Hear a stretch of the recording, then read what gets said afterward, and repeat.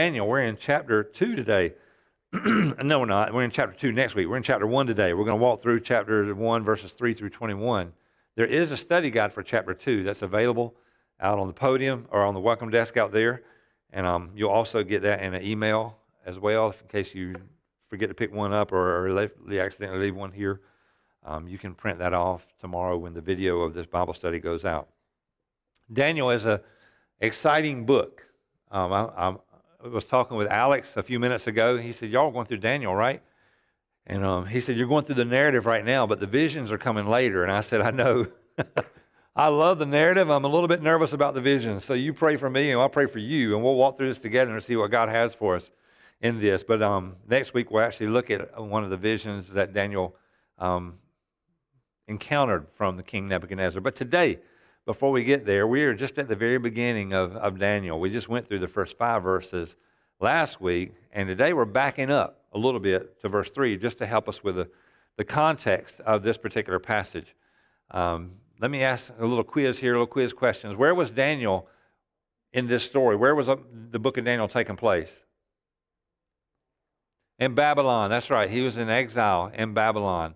He and his friends um, were taken, three of his friends were taken from Judah um, and taken captive in, into Babylon. Why did he write this book? Daniel wrote this book to encourage the Jews who were in exile but also, Daniel wrote this book as a prophecy. God gave him the prophecy to encourage all believers from that point on, to encourage us, you and me, because he speaks of things that are, uh, were going to happen in the future in Daniel's time, but also are going to happen in, in the future from our perspective. And so some of the things that we read about are, have unfolded and are unfolding and will unfold in, in, as time progresses. And y'all, every day we're a day closer to this millennial kingdom that we, um, that we see God's word talk about. We're a day closer to eternity with the Lord forever in heaven. Um, God's greatest purpose in this, in this book is that it points to the gospel of Jesus. That's all of Scripture. And so that's Daniel is not like, well, we have the gospel in all Scripture, except there's Daniel over here on the side. No, Daniel is a part of the whole context of Scripture, and it points us to Jesus Christ. And we'll see that um, today as well, even. Yes.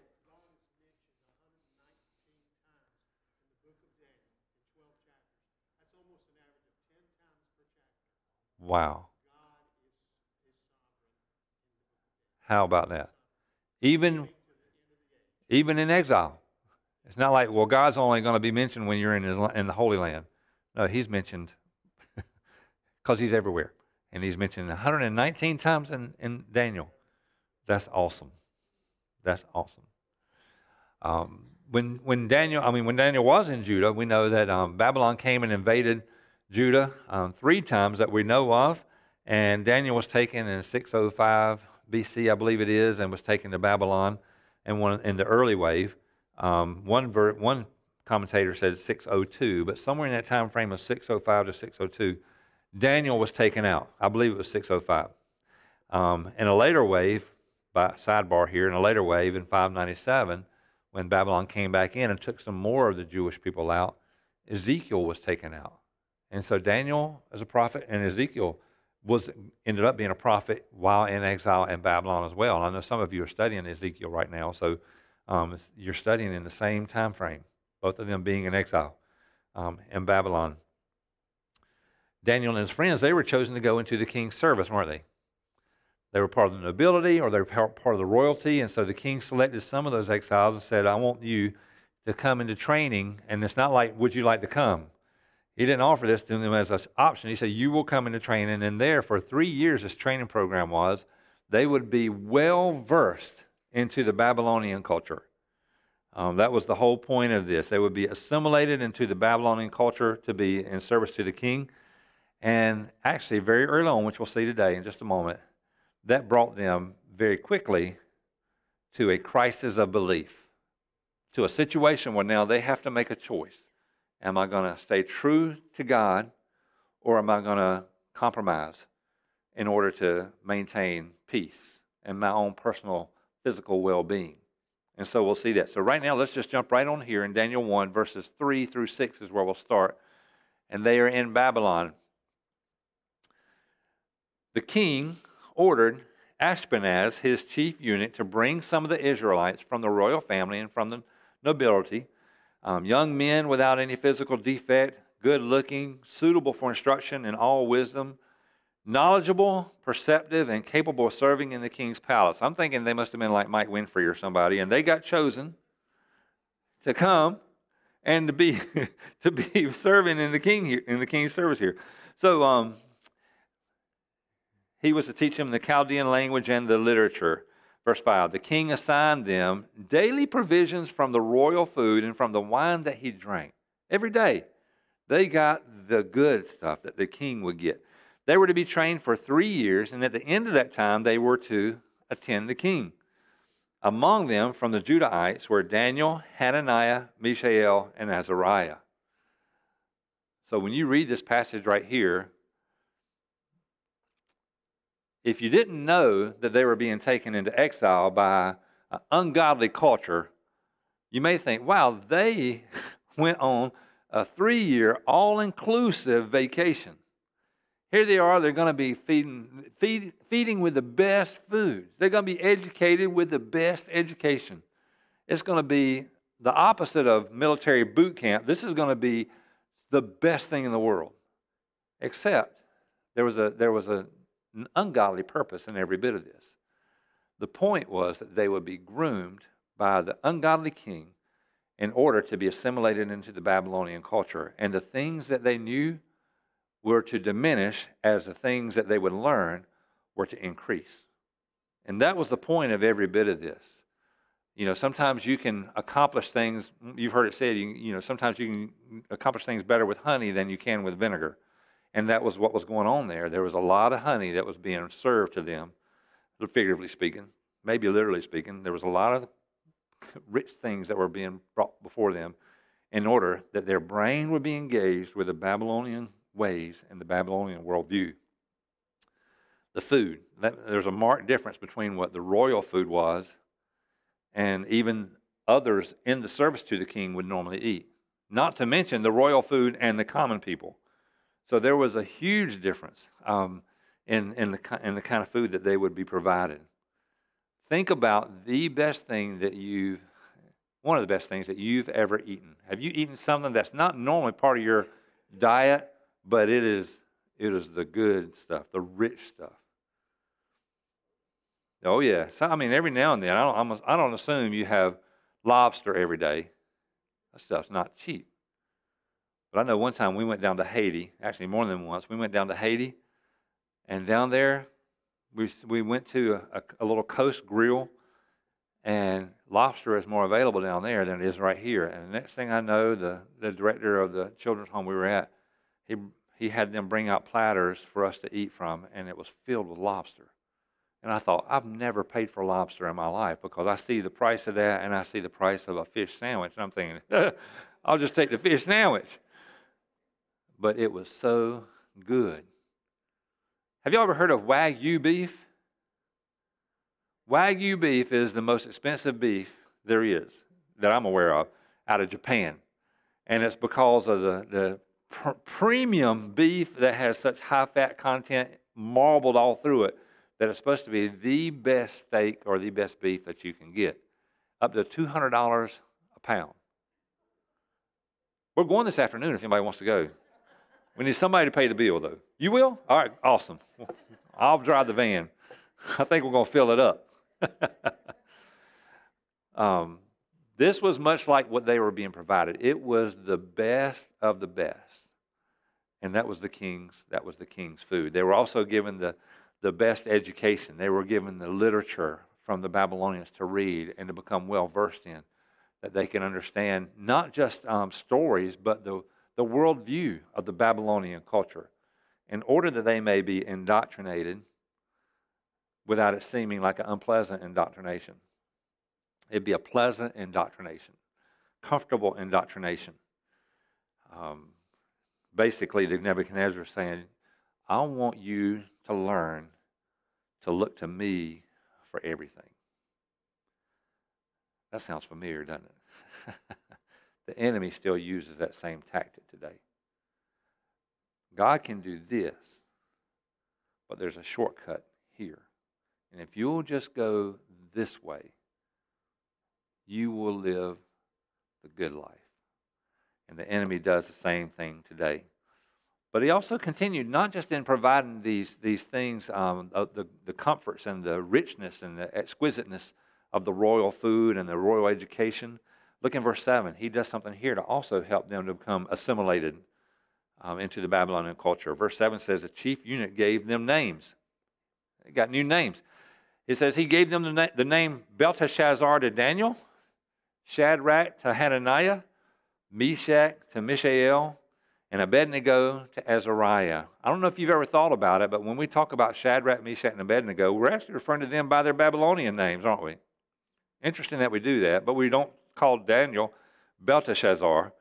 We talk to him by his Hebrew name. We call him by his Hebrew name.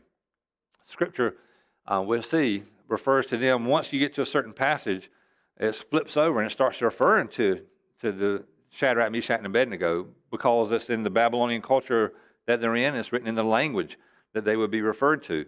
But a little bit later, we'll see them still referred to as Hananiah, Mishael, and Azariah. But there's meaning to these names. There's a reason they changed their names. Um, Daniel means God is my judge. That's what his name literally means, but it was changed to Belteshazzar, which means, O lady, protect the king. And the lady is speaking to the wife of the god of Baal, B E L. Um, and so his name had to do now with, with the religious aspect of the Babylonian culture, not the Hebrew God. The Lord, God is my judge.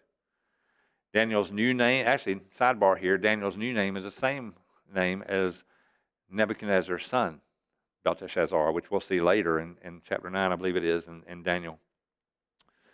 Um, but now his Hebrew name means means something different.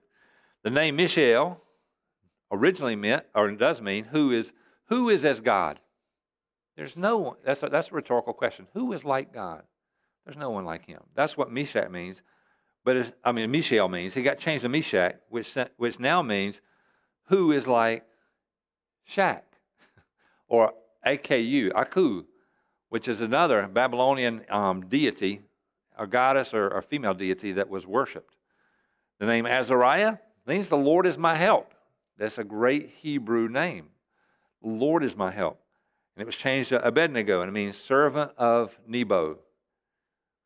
King was attempting to destroy their religious and cultural identity, and in a sense, to make them of the Babylonian world, not just in the Babylonian world. Now, I hope that rings a little bell with you of the Babylonian world, but not, not, in the, not just in the Babylonian world. Because when Jesus prayed for his followers, this, are you, is this ringing a bell? When Jesus prayed for his followers in John 17, he recognized his followers that they were in the world, but they were not of the world. Not just not to be of the world, but they were not of the world. God's purpose for his children from the before they were born is that they were going to be His. And so we are to reflect the truth of how God sees us and that we're in the world as His children, but we're not of the world.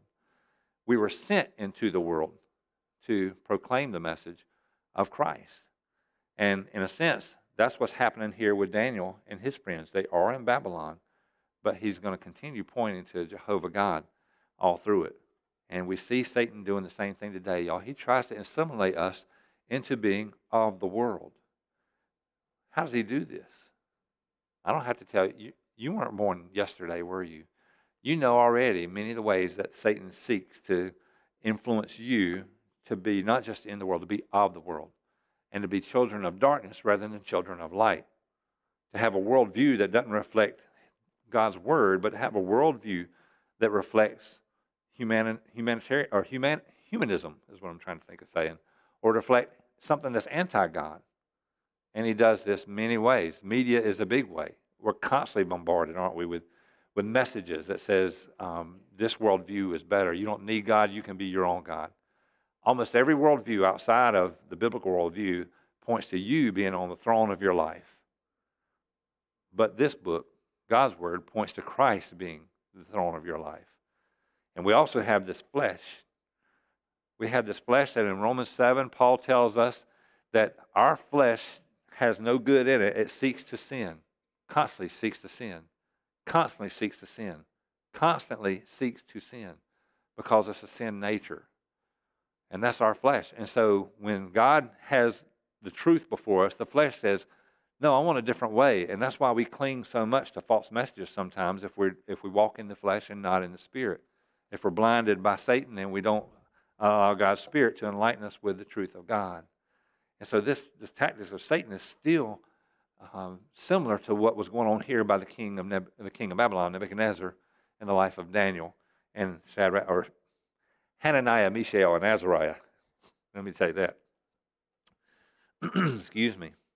So some of the ways of the enemy are very overt and some are covert. And many of these take place even in the we have to know that the people around us that don't know Christ, they're not the enemy, by the way. they're prisoners of war. And we have to be intentional to love and to listen and to point to Christ. But people, prisoners of war that are um, held captive to the worldview, can also be influences in our own lives if we don't stand firm on the truth of God. I know some well meaning lost people who have a philosophy that is comfortable, it's, it sounds good, it's warm, it seems like there's a goodness about it, but the goodness ultimately points to man being good and not the heart of man is turned from God, which it is. And I, I must know that the only truth, the only goodness ultimately is going to be found in, in God Himself, in Christ. And so I have to make sure that we have to make sure that our identity is not influenced to be changed like the Babylonians were seeking to change the identity of, of these guys. And it can be. Your flesh tries to tell you, even as a believer, when you do something good, do you ever find yourself having to say, Wow, God, well, not having to say, do you ever find yourself thinking, God must love me a little bit more today and maybe it's not that conscious of a thought. But maybe if you avoided temptation, you really wanted to give in to temptation, but you didn't. Is there something in there? Is there something in your nature sometimes that says, man, I, I fought that on my own and I overcame it? And, and that's a seed of pride getting ready to, to be planted. And we constantly find ourselves in this battle of our identity being changed as a child of the one true God, the one who our identity is now. I know, I know who we are. You know who you are because of who Jesus says you are and what God's Word says you are. Not because of um, what your flesh would tell you that you're good on your own and your heart is good and you don't need God and you you can make it on your own. A little bit of God's okay, but not a whole lot. Well, that's not the identity that God has for you. In His Word, His His Word says that you are created in the image of God. That's who God sees you. You're his creation. But in Christ, we're adopted into his family. And now we're born again. We're, in, we're his children. And that's the way God sees you. Do you understand you're a child of God? The world tries to tell you, you're not really. Now, maybe you were at one point in your life, but because of these circumstances, you're a little bit less of a child of God than you were. you know, in our in our in our culture, it seems like that for many people, age diminishes the value of someone, and we kind of fall into that in the way we say things sometimes. I'm, my dad used to say, "Son, I'm just I'm just getting where I'm just not any good anymore. Can't do what I used to do." And I'll tell you, his value was never in what he could do. It's in who he was. But we can fall into the same thing, can't we? Ah, you know, I'm just just not worth much anymore. And the culture kind of feeds into that. Even the term old, I'm not a fan of the term old because I know what it means a lot of times in our culture. When you open up your refrigerator, you pull something out, and you say, "Oh, that's old." It's usually not a not a good thing, right? It's past its expiration date, maybe. Or it's got a little extra stuff growing on it that didn't used to be there. Oh, that's old.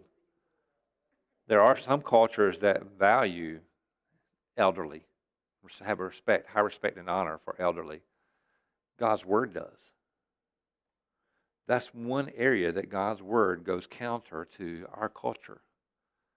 We are to honor our elders, honor those that get older. There's a respect um, that is, is meant to be in place by, from younger people to older people. And um, that's just one way. But no matter how old you get or how young you are, when you know Jesus, your value is because of who you are in Him. And age does not make you more valuable, but it doesn't make you less valuable.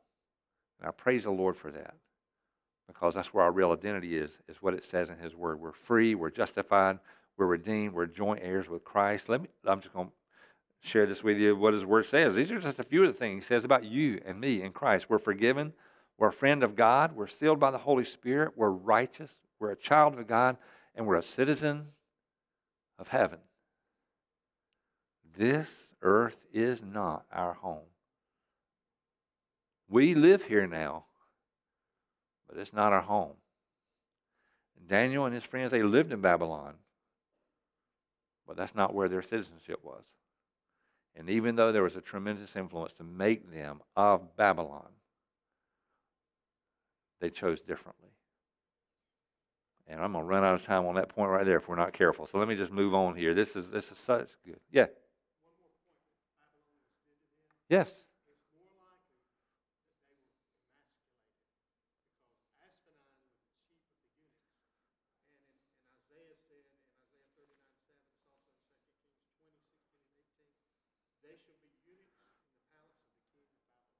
Wow.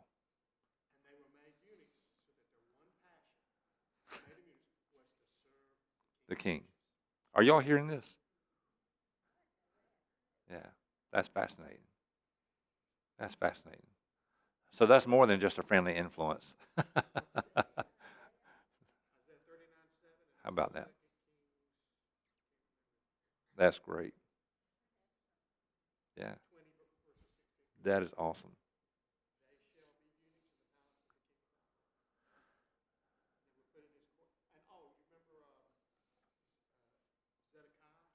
Yeah. Yeah. Right.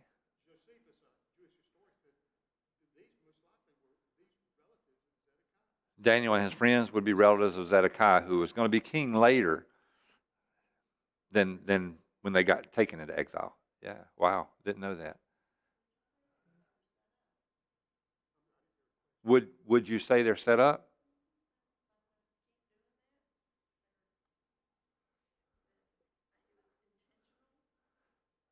That he did what? Oh, yeah, I would. That's definitely in. Uh,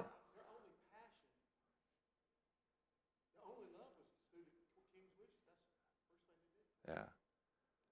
So he removed the potential for passions anywhere else. Central focus. No? That's right. Very interesting. Very insightful. That's good. Thank you. Y'all, thank you for sharing insights like that or any others that you find. I love learning um, what God's Word has to say and, and the truth in all of this. Verse 8 through 16 is our next section. Let's see, um, let's see what they did that was intentional to live their lives being faithful to Jehovah even while being in Babylon. Daniel determined um, that he would not defile himself with the king's food or with the wine that he drank. We're going to come back to the word defile, and I asked you a question on the study guide, and I'd love to hear your thoughts on that. So he asked permission from the chief eunuch not to defile himself. God had granted Daniel kindness and compassion from the chief eunuch. Yet he said to Daniel, I fear my lord the king who assigned your food and drink. What if he sees your faces looking thinner than the other young men your age? You would endanger my life, the eunuch's life, uh, with the king in your study guide, you had the question what was it about the king's food or wine that Daniel considered unclean or defiling? What was it about that? Did anybody dig into that a little bit and see what could it have been about the food that Daniel said, I'm, I'm not defiling myself with the king's food? Could have been offered to idols. That's one thing I read. Yeah. So he didn't want to use food that had been offered to idols. Could very well have been. Bad food? oh, bad cook. you go, you tell somebody to cook food for you. I am not defiling myself with that meal right there.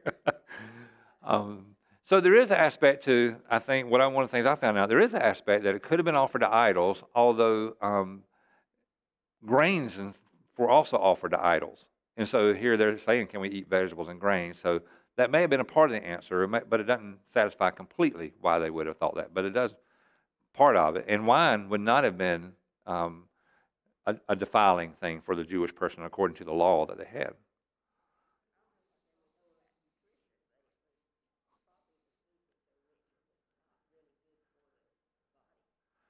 So they, yeah, they may have said, no. right, yeah, yeah. There were some laws that had to do with what Jewish people could eat and couldn't, and there was probably a lot of pork involved in a Babylonian diet. Um, but but then again, there should have been some things there that could have been included in their diet, but they didn't want any of the king's food. They just wanted this, just vegetables, basically, this vegetarian diet. Which vegetarianism was not something that was a vegetarian diet was not something that was in any culture in that age that, that we can see that was prominent in any culture.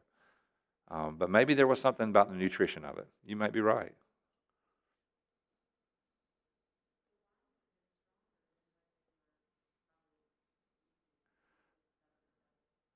May have been the the 200 proof or whatever. That's right. Could have been. And they thought, well, I can't even drink that because it's, you know. Yeah.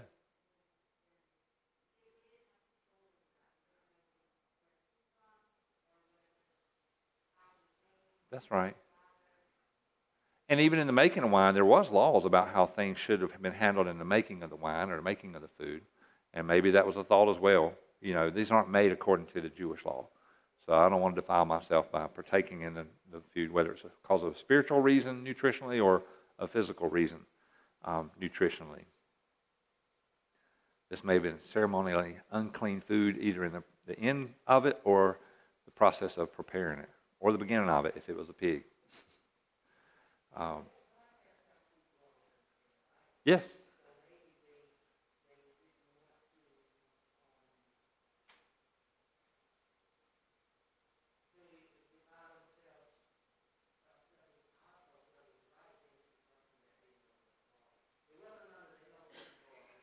Right.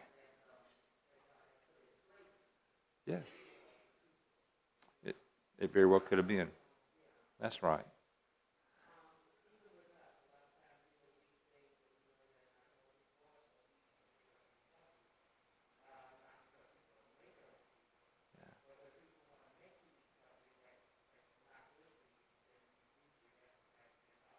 Right.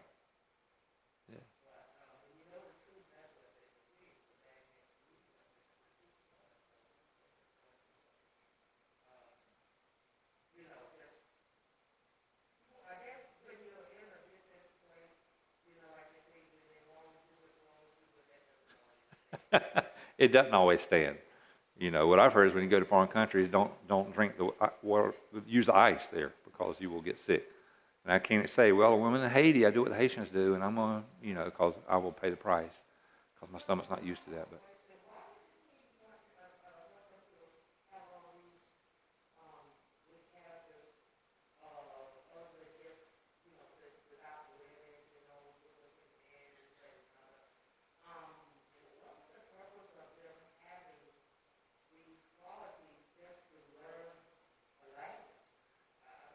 It wasn't, well, learning the language was a part of the qual, you know, part of the process of training them, but they were being trained to come into the king's service, to be completely devoted in serving the king. Because the Jews, they weren't the only Jews that were taken. But if there were Jewish people who were of great influence, because that's why the listing is there, because these things, what does it matter if someone's good looking or not? But there is an influence that's brought about sometimes by people who are physically attractive. When they speak, it's, I'm not saying it's right, I'm just saying it's real. Sometimes someone that is intelligent, physically attractive, able to speak well, then they have an influence on others around them. So if the king can capture them, it can have an influence on all the other exiles that, that they may not mount a rebellion or make something ugly. I think that's one of the reasons. Um, And, and if they can be fully engaged in the Babylonian culture, then it enables others to say, well, I can compromise. They compromise and they're doing okay. Look at them. I can, I can compromise.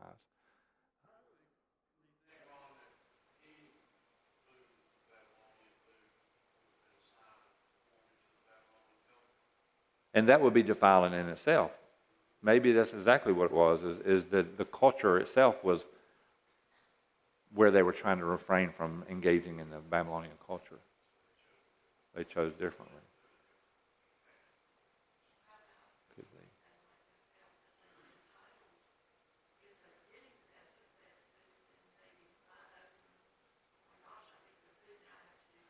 Right, which would also announce a development of heart.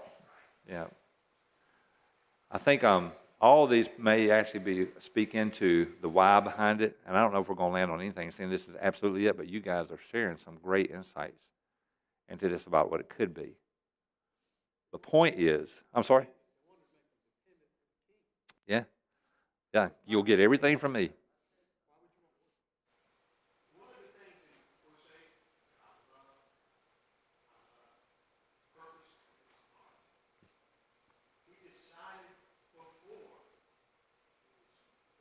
That's right.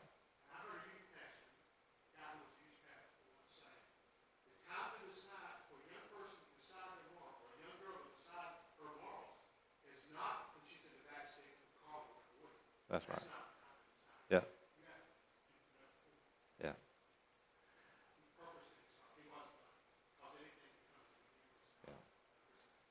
It's almost like this, this wasn't a decision for him. A decision had been made prior to this.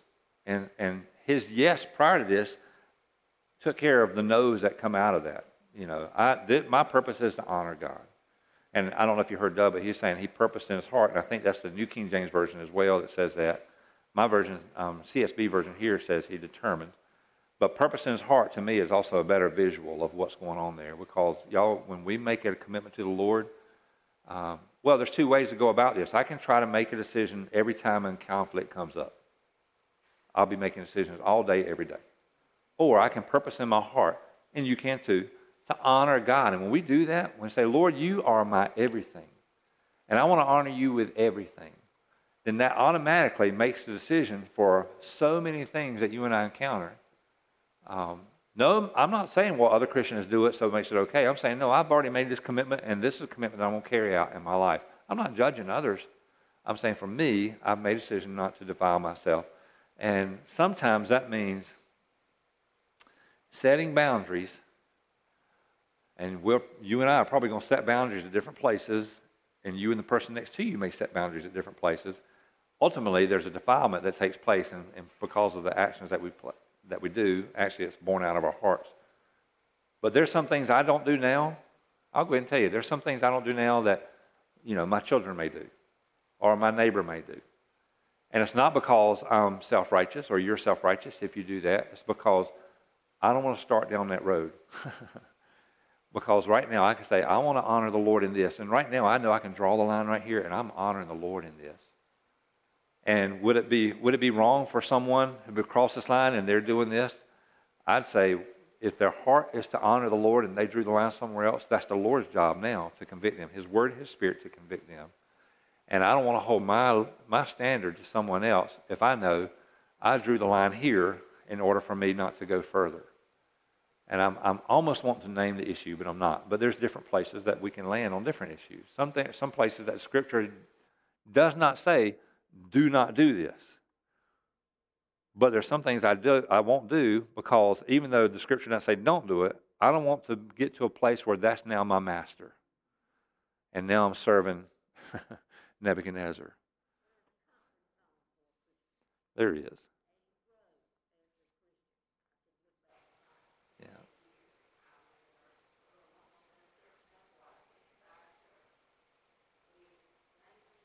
Yeah. Yeah.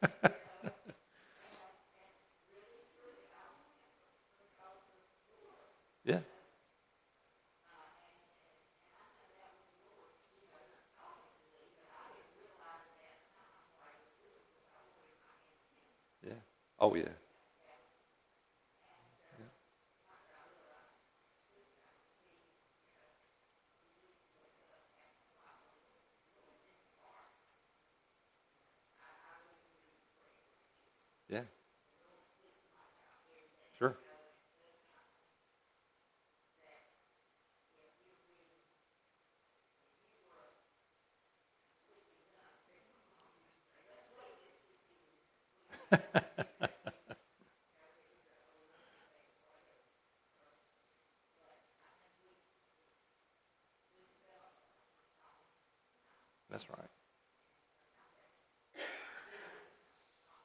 No, it's not. We can't ever lose our sensitivity to the Lord and what He's doing and where He is in our lives. That's exactly right. So, y'all, we're out of time, actually, a little bit over. So, here's what we're going to do. Thank you for your insights and for everyone sharing today. This is a blessing. And one of the reasons I didn't map out the whole study for Daniel is for this reason, because sometimes the Lord's going to, He's really going to fill our, our, our spirits and our souls with His Word as we share this Word together. And so it's not a lecture to get through, it's Bible study together. And I'm thankful for your willingness to be a part of that at home and here. So next week, we're going to pick back up and we will finish this particular study. I don't know that we'll get to chapter 2 next week. We might. But this time, we'll, be, we'll, we'll finish this study um, in chapter 1. So if you didn't get a chance to finish, now you have a chance. And there's a couple more questions on the study guide that um, one of them has to do with that right there um, about purpose in our heart and making that commitment before we go into situations. So if it's okay, we're going to park here and then we'll pick back up next week. And so I'm going to close us in prayer and then we'll, we'll slip out. Father, I thank you so much for your faithfulness. God, you are so good. And you're challenging us and reaching our hearts. Lord, I pray that today, that for how your Spirit has spoken to each one of us as we pray for each other, as we pray for needs, or in our Bible study as we study together and heard conversations, Lord, may the takeaway be exactly what you want for each one of us. And mine may be a little bit different than someone else's at this point because of where I am in my life, and someone else may be in a, a different place. But maybe the takeaway that you've given us in your word be that we are encouraged to follow you faithfully, to surrender everything to you, that we would put our yes, Jesus, on the table, no matter what else comes to the table. We already know and are committed to surrendering ourselves completely to you and to following you faithfully.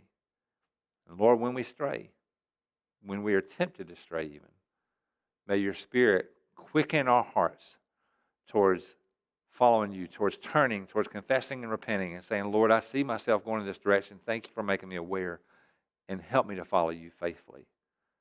So, Lord, may we, may we love you and follow you today. And it's in Jesus' name we pray. Amen. Well, God bless y'all. Thank y'all so much for being here. Remember, next week we're going to pick right back up at verse 8 verse 8. God bless you. Be safe in this snow.